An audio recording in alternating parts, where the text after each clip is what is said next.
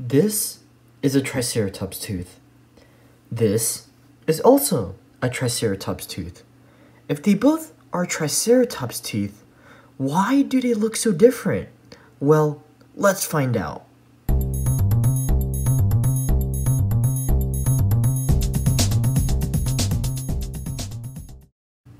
Hello everyone, welcome to Paleostoric, and today we have quite the puzzle, a mystery. The mystery of the mismatched Triceratops teeth.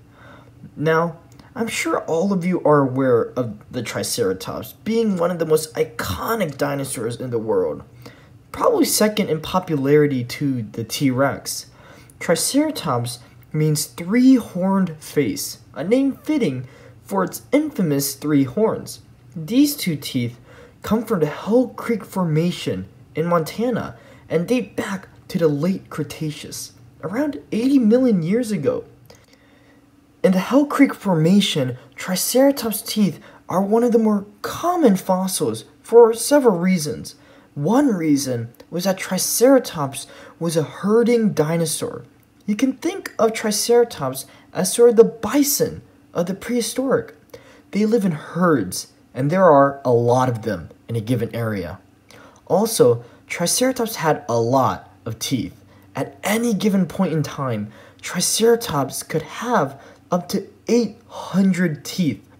As Triceratops lost their teeth throughout their lifetime, new teeth would constantly replace the lost ones.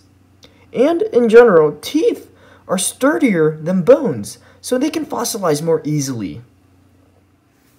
Now that you know a bit more about Triceratops and their teeth, let's dive into this mystery.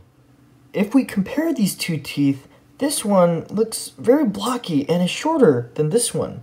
This larger one also has these sort of two protuberances here.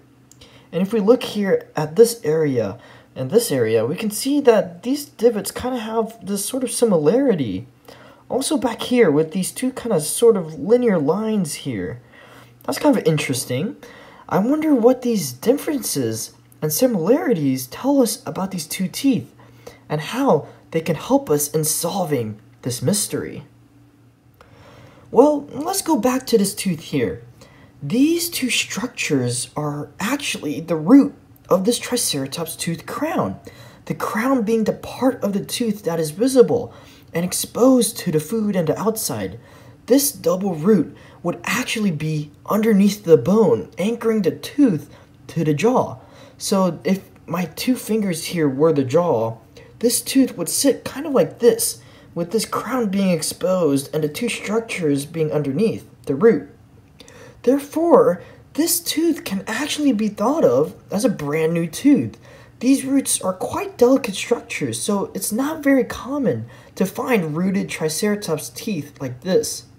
The Triceratops would have actually had to die, with this tooth fossilizing as a skull broke apart, since the skull of any dinosaur rarely ever fully fossilizes whole.